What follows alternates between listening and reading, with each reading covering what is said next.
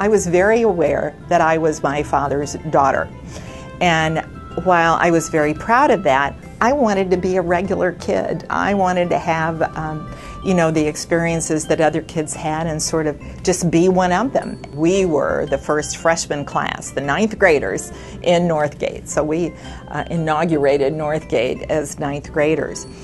But I was very much aware of what I could and could not do. I had to be uh, on my best behavior, which would, would have been any case with my parents, no matter what their profession.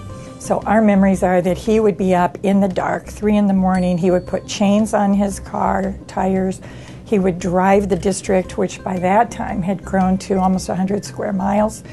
And um, we would, um, then he would gather with all the bus drivers who had come from all over the district where they lived, and he would ask them if it was safe to have school. And they would be huddled with steaming coffee mugs out in the, in the bus barn um, and after he talked to the drivers and experienced the roads himself he, himself, he would make the call. Now, in the meantime, we were at home with the phone ringing off the hook, starting at about 5:30. Are we going to have school? Are we going to have school?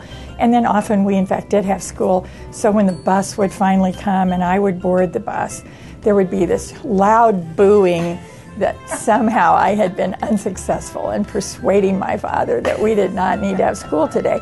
Um, and uh, I would say, You know, I tried. You know, I tried.